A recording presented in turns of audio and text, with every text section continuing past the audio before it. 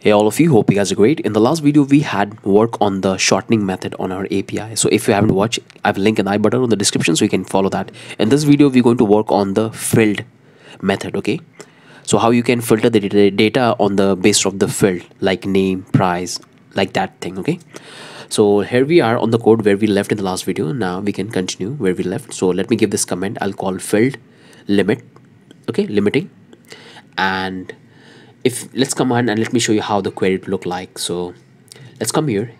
Here we're going to build the field query. So we'll add this question mark. And here we will say field. And we'll want to filter the data on the base of the name. Okay? So this is how the field method work. So here we have the field. And whatever data will pass like name price or maybe a rating. So whatever name you will pass in the field only those data you will get not other data. Okay so I'll show you in the practical. So that's the one field I have here. And I want to add the other field like a duration. You can able to see here. And I want to add a difficulty. So that's the three field I want to add. And I want to get that only these three data. So you can see this is the field we have here. And it's looking perfect. Now if we come here and let's build up.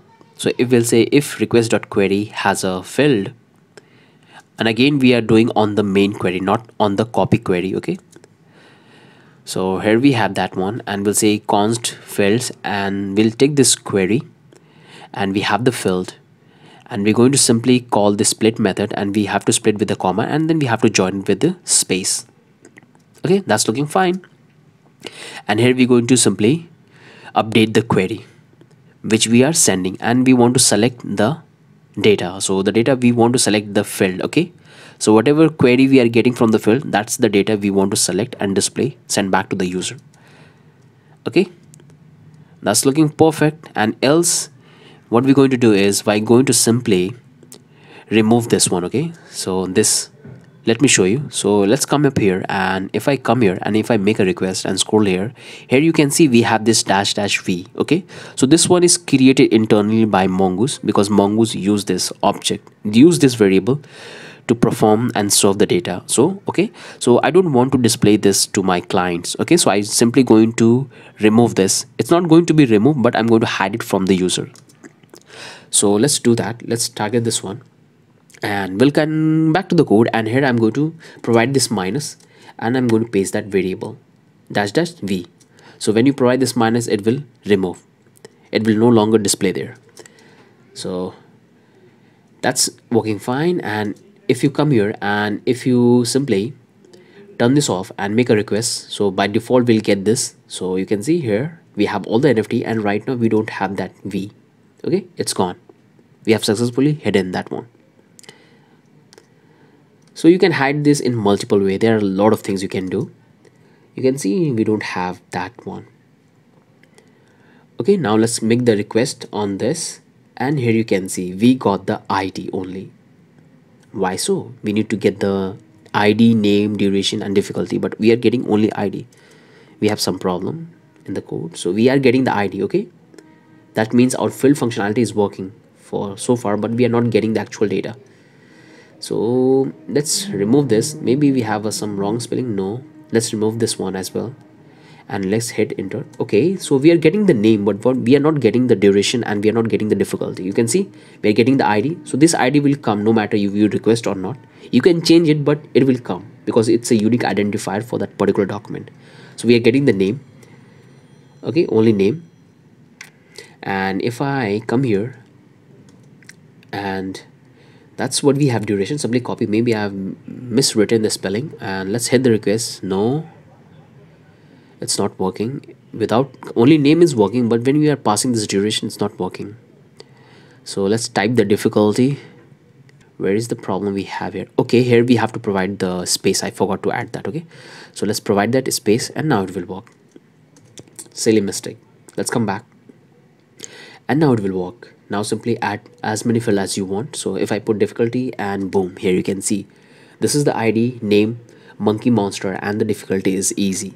The second one is the Sea Explorer medium okay? So here you will find the two data which you have put in the filter.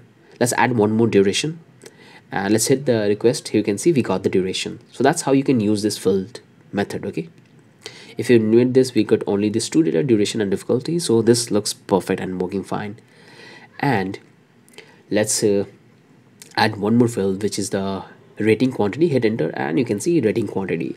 So this one is very useful when you want to display only little information about a particular document. So you can add this field method. Okay? So what happens generally in our home page the nft has a lot of data but in our home page we have to show only few names okay? We want to display the name or descriptions or the price. So in such scenario you can create this kind of things and display the data like this okay? But we're not going to follow that approach. We're going to follow more advanced one. So you can come back here and you can see this is the query. It's absolutely working fine here. And this one is also working fine. But you can see this is the one we have here let's make a request and let's try to have a look one more time. Let's provide this minus sign. What happens with this minus? And if we make the request here we can see. So if you provide this minus sign it will exclude. You will get all the result but it will exclude from the data. So right now you won't find the difficulty duration and rating. It's excluded from the data. So this is how you can include and exclude. Okay? With the minus sign you can exclude and with the only difficult you can include okay? So right now we have successfully excluded the data. And i don't i also not want to display the created at okay? So just imagine that you are offering some sort of program and that's an old program and right now you are selling. So if a user find out that this is an old program then he will not buy that okay? So it's always necessary that you have to hide this created time okay? So let's hide this one. So created at time we're going to hide it so to hide that we can do in the model way and we can do here but i'm going to follow the more advanced one okay? So let's come here and go to the model we have created and we're going to hide here. So to hide it down here we have this created at and all we have to do is to call this method. We call select and we'll call select to false. So this false means that this data would be not displayed to the clients to the user okay? So if you come back and make a request you, you won't find this anymore. You can see it's gone. It's hidden. It's there in the database but it's hidden. So that's how you can hide it. So looking good. And let's bring the name back. So this is the only name we have. And looking perfect. So that's the filter section we have. Let's close this down. And i believe that you guys have learned something new. You have understood that how this field section work how you can filter the data on the base of the field. So if you want to include all you have to do is to provide the minus. If you want to exclude provide the normal one okay? So that's how it will work. So that's the only thing i want to cover in this video. Hope you have found valuable. And in the next video we're going to work on the pagination which is a very important and you must have in your api so let's move to that